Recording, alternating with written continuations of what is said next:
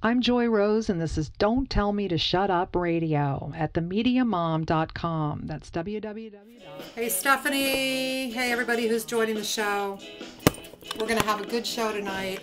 Listening to a little V. Mar- Malmar music. She's out of Australia right. Mamapalooza on Mingle Media. And uh, hey there, staff. Good to be back. Um, holidays and uh, hospitals and all kinds of fun. Um, for those of you who don't know, Mamapalooza, we're all about music, empowerment, having a little more fun on the planet, of course, in healthy ways. We're sustainable, we're green, we've got mom rock, and a whole lot more. Um, and let's see, I've got a bunch of articles to read for you tonight. Uh, Phyllis Chesler, I've got a Phyllis Chesler article talking about feminism and uh, the conservative media. I've got a little bit on Mama Blogger 365, Reinventing Motherhood.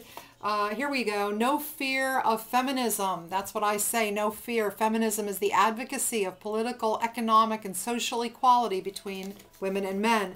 That from the University of Minnesota.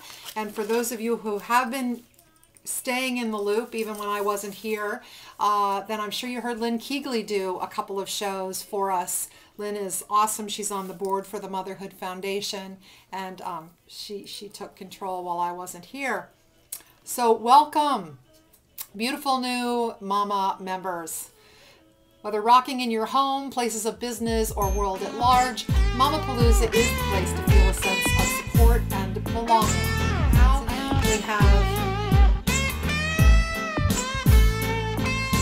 cornbread muffins and pies. Lord, look at these thighs. Plowing in the fields or strolling down the street.